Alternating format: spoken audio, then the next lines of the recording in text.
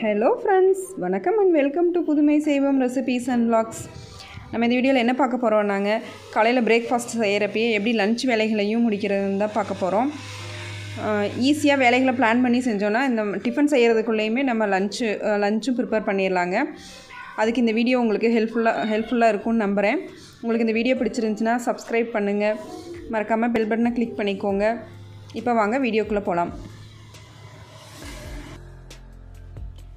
காலையில் கிச்சனுக்குள்ளே வந்தனையும் முதல் வேலை நான் காலையிலே லஞ்சும் சமைச்சிருவேங்க.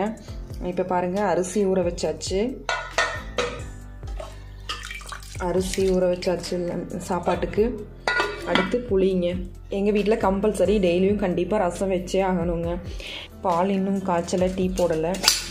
அரிசி புளியும் ஊற வச்சுட்டு அடுத்து பால் பால் காய்ச்ச போகிறேன் டீக்கு தனியாக பால் ஊற்றி வச்சுட்டு காய்ச்சறதுக்கு தனியாக எடுத்து வச்சுருவேங்க. நைட்டே நான் டிஃபன் வேலையெல்லாம் முடிச்சுட்டு இந்த- மாதிரி நீட்டாக அடுப்பெல்லாம் தொடச்சி வச்சிட்டோம்னாங்க. காலையில் எழுந்திரிச்சு சமைக்கிறதுக்கு ஈஸியாக இருக்கும். நம்ம குயிக்காகவும் சமைச்சு முடிச்சிடலாம். இது என்னோடய கவுண்டர் டாப் வந்து இந்த அளவு சின்னதாக தாங்க இருக்கும்.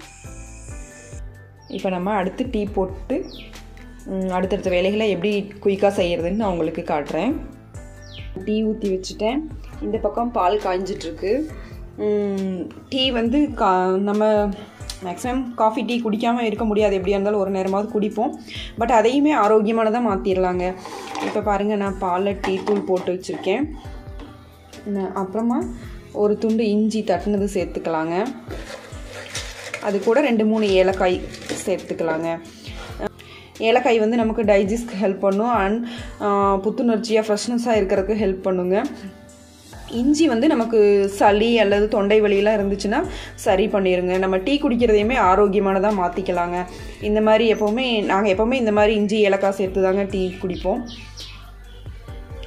இதுலேயே வந்து ஒரு பட்டையும் ரெண்டு கிராமும் சேர்த்துக்கிட்டோன்னா மசாலா டீ ஆயிருங்க. இப்போ டீ கொதிக்கிற இந்த டைம்லேயே அடுத்து நம்ம சமையலுக்கு ரெடி பண்ணிடலாங்க. அரிசி புளி ஊற வச்சுட்டேன். இப்போ டீ கொதிக்கிறதுக்குள்ளேயும் இன்றைக்கி வந்து என்ன சமையல் செய்ய போகிறேன்னா பாசிப்பருப்பு கடையில் அண்ட் வாழைப்பூ பொரியல் தாங்க செய்ய போகிறேன் அதனால இப்போ நம்ம டீ கொதிக்கிற இந்த கேப்லேயே வந்து நான் பாசிப்பருப்பு கடையலுக்கு வந்து பாசிப்பருப்பு வேக வைக்க போகிறேங்க இப்போ டீ கொதிச்சிட்ருக்குங்க பாசி பயிறு போட்டு கழுவி வச்சாச்சு. இப்போ நான் தேவையான அளவு பாசி பயிறு சேர்த்துக்கிட்டேன். ஒரு டம்ளர் சேர்த்துட்டு கழுவிட்டு தண்ணி ஊற்றிக்கிட்டேங்க இப்போ நம்ம அதில் வந்து ஒரு ஸ்பூன் மஞ்சள் தூள். பாசிப்பயிருக்கு வந்து மஞ்சள் தூள் நிறைய சேர்த்துக்கோங்க. அப்போ தான் நல்லாயிருக்கும். கலர் நல்லா வரும். இப்போ ஒரு ஸ்பூன் விளக்கெண்ணெய் சேர்த்துக்கலாங்க. அஞ்சு பச்சை மிளகாய். கட் பண்ணி வச்சுருக்க வெங்காயம். ஒரு ரெண்டு பூண்டு பல் நம்ம வேக வச்சுட்டு அதுக்கப்புறம் வெங்காயம்லாம் போட்டு தாளிக்கிறதுக்கு பதிலாக ஒரு டைம் இந்த மாதிரி செஞ்சு பாருங்கள் நல்லாயிருக்கும். இப்போ சும்மா ஒரு நாலு மூணு சீரகம் கால் ஸ்பூன் சீரகம் கருவேப்பிலை ஒரு நாலஞ்சு கருவேப்பிலை சேர்த்துட்டு இப்போ வேக வச்சுக்கலாங்க. இப்போ மூடி போட்டு நிறையா க்ளீன் பண்ணி கட் பண்ணி வச்சுருக்கேன். இன்றைக்கி வாழைப்பூ பொரியல் தான் செய்ய போகிறோம் பாசிப்பருப்பு கடையில் வாழைப்பூ பொரியல். இப்போ அடுத்து டீ ரெடி ஆயிடுச்சுங்க. நம்ம டீ குடிச்சிட்டு அடுத்த வேலையில் பார்க்க போகிறோம் பாருங்கள் டீ சூப்பராக ரெடி ஆயிடுச்சு. இப்போ நான் டீ குடிக்க போகிறேன்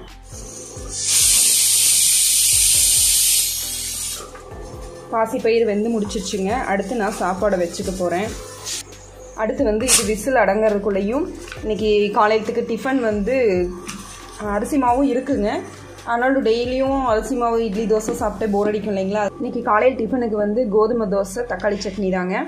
கோதுமை தோசையை கொஞ்சம் டிஃப்ரெண்ட்டாக செய்ய போகிறேன் இப்போ தேவையான அளவு கோதுமை மாவு எடுத்துட்டு அது கூட நான் இட்லி இட்லி ரவா இட்லிக்கு வந்து இந்த மாதிரி செஞ்சு வச்சுருப்பேங்க. ரவா ரவா வந்து நானே இந்த மாதிரி செஞ்சு வச்சுருப்பேன். தாளித்து ரவையை வறுத்து வச்சுருப்பேங்க. இப்போ அதுவும் வந்து ஒரு கப் இது கூட சேர்த்துக்க போகிறோம் கோதுமை மாவு ரவா தோசை. ரெண்டையும் மிக்ஸ் பண்ணிவிட்டு ஒரு ஆஃப் அன் ஹவர் ஊற வச்சுக்கலாங்க. கட் பண்ண வெங்காயம் மல்லித்தலை பச்சை மிளகாய் இஞ்சி எல்லாத்தையும் சேர்த்துக்கலாம். எப்போவும் ஒரே மாதிரி டிஃபன் செய்யறதுக்கு இந்த மாதிரி கொஞ்சம் டிஃப்ரெண்ட்டாக ட்ரை பண்ணலாம். ஹெல்த்தியானதாகவும் இருக்கும். டேஸ்டானதாகவும் இருக்கும். இப்போ தேவையான அளவு உப்பு சேர்த்துக்கலாம்.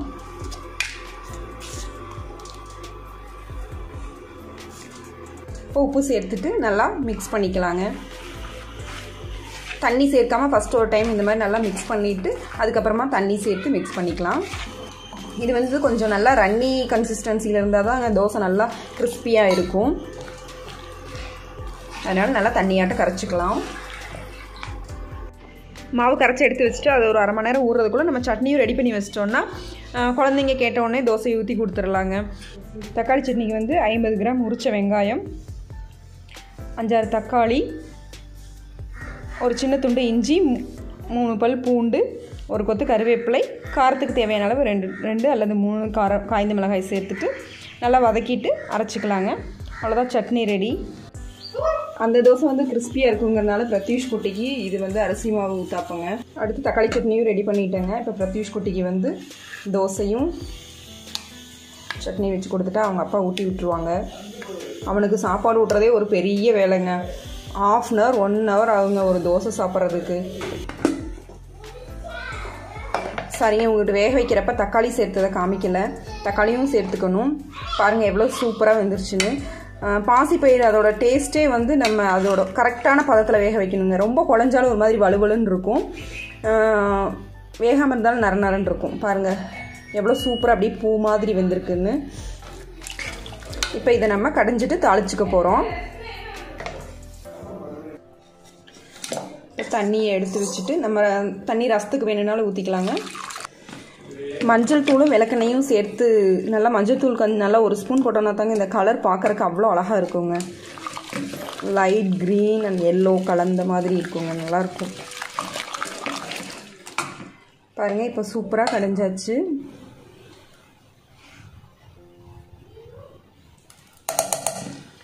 இப்போ நம்ம தேவையான அளவு இன்னும் கொஞ்சம் தண்ணி சேர்த்துட்டு உப்பு சேர்த்துக்கலாம்.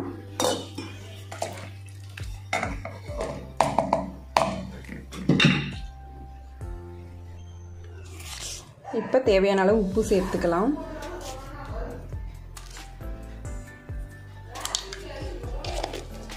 அடுத்தது தாளிச்சுக்கலாங்க. தேவையான அளவு எண்ணெய் சேர்த்துட்டு அப்புறம் அதில் அரை ஸ்பூன் ஜீரகம் சேர்த்துக்கலாங்க.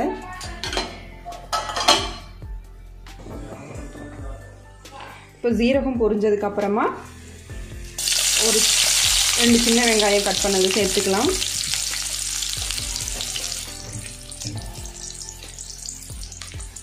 அது கூடவே ஒரு காய்ஞ்ச மிளகாய் கிள்ளி போட்டுக்கலாங்க. அப்புறம் கருவேப்பிலை. இப்போ இதெல்லாம் வதங்கினதுக்கப்புறமா நம்ம கடைஞ்சி வச்சுருக்க பாசி பயிரை இதில் சேர்த்துக்கலாங்க.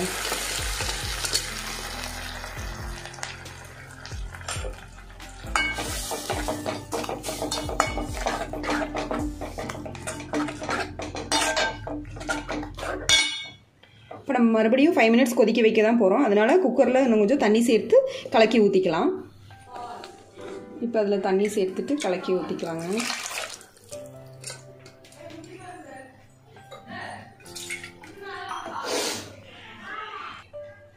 இப்போ இதுலேயே இன்னொரு மெத்தடும் இருக்குதுங்க. நம்ம மிளகாய் சேர்க்கறதுக்கு பதிலாக பச்சை மிளகாய் சேர்க்காம இப்போ இந்த தாளிச்சு ஊற்றுறப்ப வந்து ரெண்டு ஸ்பூன் சாம்பார் தூள் சேர்த்துக்கலாங்க. அது ஒரு டேஸ்ட்டாக இருக்கும். அது பாசிப்பயிறு குழம்பு மாதிரி இருக்கும். அது அது ஒரு டேஸ்ட்டாக நல்லா இருக்குங்க இது ஒரு டேஸ்ட் இது நல்லா இருக்கும் இது நம்ம பாரம்பரிய சுவை. இப்படி செய்கிறப்ப இந்த டேஸ்ட்டில் இருக்கும். சாம்பார் தூள் போட்டு வச்சோம்னா அது ஒரு டேஸ்ட்டாக இருக்குங்க. அடுத்து பாசிப்பயிறு கொதிக்கிற இந்த கேப்லேயே நம்ம ரசத்துக்கு கலக்கிட்டு வந்துடலாங்க நான் இன்னொரு அடுப்பில் வந்து வாழைப்பூ பொரியலுக்கு தாளிச்சு விட்டுருக்கேன். அதுவும் வணங்கி வதங்கிட்டுருக்கு. இந்த மாதிரி அடுத்தடுத்து நம்ம குயிக்காக ஒவ்வொரு வேலையில் செஞ்சுக்கிட்டோம்னா டக்குன்னு வேலையை முடிச்சிடலாங்க இப்போ பாருங்கள் அந்த பக்கம் அடுப்பில் நான் அப்படியே வாழைப்பூக்கும் வாழைப்பூ பொரியலுக்கும் தாளித்து விட்டுட்டேன். நான் கொஞ்சம் வாழைப்பூ எடுத்து வச்சுட்டேங்க. ஈவினிங் வந்து வாழைப்பூ வடை செய்கிறதுக்காக அது எப்படி நான் உங்களுக்கு காமிக்கிறேன். இந்த கொரோனா டைமில் வந்து நம்ம ஹெல்த்தியானதாக சாப்பிட்ணுங்க. இந்த மாதிரி பயிர் வகைகள் வந்து அதிகமாக சேர்த்துக்கலாம். சுண்டல் பாசிப்பயிறு ப்ரோட்டீன் நிறைய இருக்கிற உணவுகளாக எடுத்துக்கணுங்க. அதுதான் ரொம்ப நல்லது. வாழைப்பூ கீரை வகைகள் முருங்கைக்கீரையெல்லாம் நிறைய சேர்த்துக்கலாங்க. அந்த மாதிரி ஆரோக்கியமானதாக சத்தானதாக பார்த்து சாப்பிடுங்க.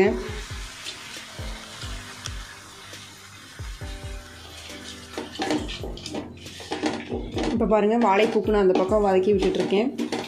அதுவும் ரெடி ஆயிரும் அவ்வளோதாங்க.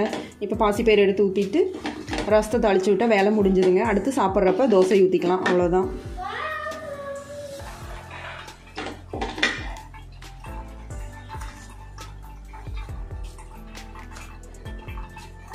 தேவையான அளவு உப்பு சேர்த்துட்டு மூடி போட்டு வேக வச்சிடலாங்க.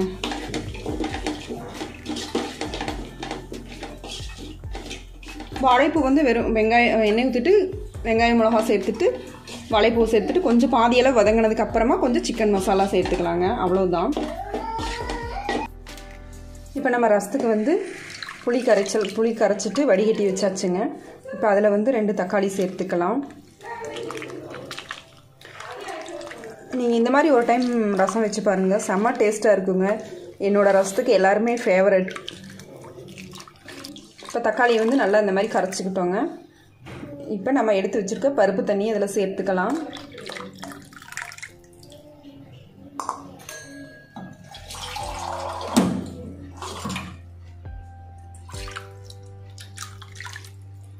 இப்போ தேவையான அளவு உப்பு சேர்த்துக்கலாங்க. ஹாஃப் ஸ்பூன் ரசப்பொடி சேர்த்துக்கலாம். ஹாஃப் ஸ்பூன் மஞ்சள் தூள் சேர்த்துக்கலாம். மெயின் வந்து ரசத்துக்கு நிறைய மஞ்சள் தூள் சேர்க்கும். தான் அந்த புளிப்பு சுவை மாதிரி நல்லா டேஸ்ட்டாக இருக்குங்க ரசம். இப்போ அவ்வளோதாங்க நம்ம தாளித்து விட்டுறலாம். பாருங்கள் எவ்வளோ சூப்பரான கலர் டேஸ்ட்டாக செம்ம டேஸ்ட்டாக இருக்குங்க. நீங்கள் ஒரு டைம் கண்டிப்பாக இந்த மாதிரி ட்ரை பண்ணி பாருங்கள் இப்போ அடுத்து வந்து நம்ம இதே க- இந்த கடாயவே கழுவிட்டு இதிலே ரசத்தை தாளித்து விட்டுக்கலாம். வாழைப்பூ பொரியல் வதங்கிருச்சுங்க. ஆஹா ஓப்பன் பண்ணோடனேயுமே அப்படியே மனம் கம கமன்னு சூப்பராக இருக்குதுங்க. அதோட வாசமே தனி நல்லா இருக்குது இப்போ எண்ணெய் சேர்த்துக்கலாங்க? எண்ணெய் சேர்த்துட்டு? கால் ஸ்பூன் கடுகு. ஒரு பிஞ்ச் சீரகம் சேர்த்துக்கலாம்.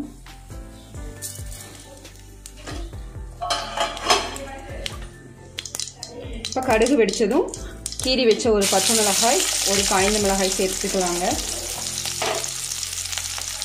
கொஞ்சம் கருவேப்பிலை.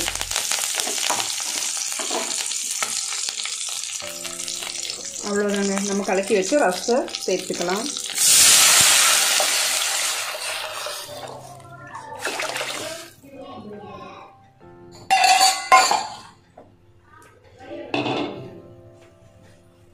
நம்ம சீரக மிளகு அரைச்சி போட்டுக்கலாங்க.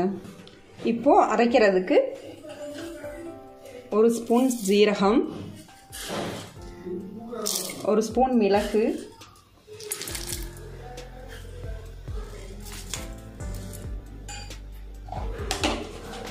கொஞ்சம் கருவேப்பிலை.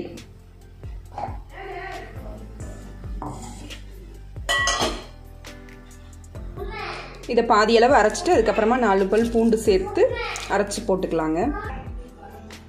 இப்போ நம்ம அரைச்ச சீரக மிளகு சேர்த்துக்கலாங்க.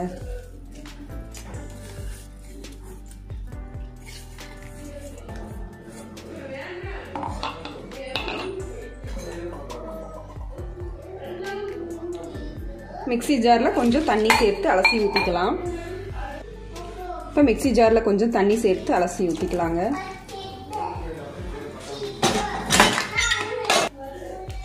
அடுத்து கொஞ்சம் பெருங்காயத்தூள் சேர்த்துக்கலாம்.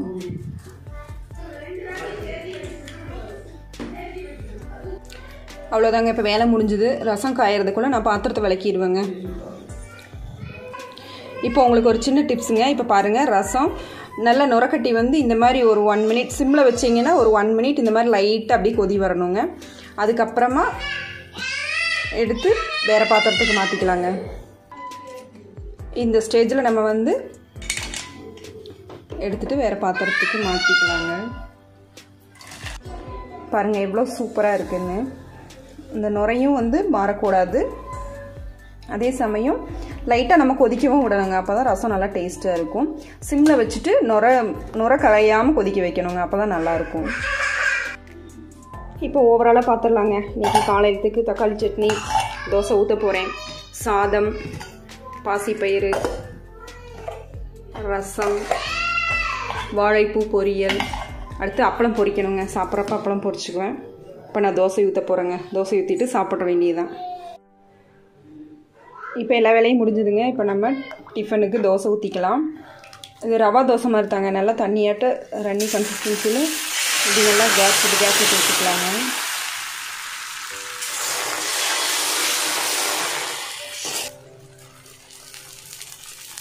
அவ்வளோதாங்க இப்போ இது வேகட்டும்.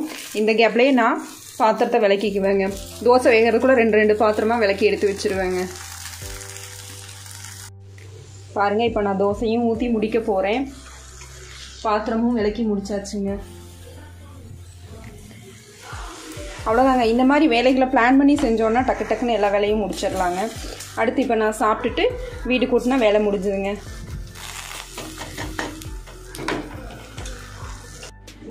பாருங்கள் பாத்திரம் விளக்கி முடிச்சுட்டு இப்போ எல்லாம் அடுப்பெல்லாம் க்ளீன் பண்ணிட்டேங்க. அடுப்பை க்ளீன் பண்ணியாச்சு. மிக்ஸியும் கையோட தொடச்சி வச்சாச்சுங்க. நம்ம அப்போதைக்கு எப்போ சமையல் முடிச்சோன்னையும் எல்லாத்தையும் ஒரு ஃபைவ் மினிட்ஸ் தான் டென் மினிட்ஸ் ஆகுங்க மீறி போனால் அப்போதைக்கு எப்போ எல்லாத்தையும் தொடச்சி வச்சிட்டோன்னா டக் டக்குன்னு வேலை முடிஞ்சிருங்க. பார்க்குறக்கும் நீட்டாக இருக்கும்.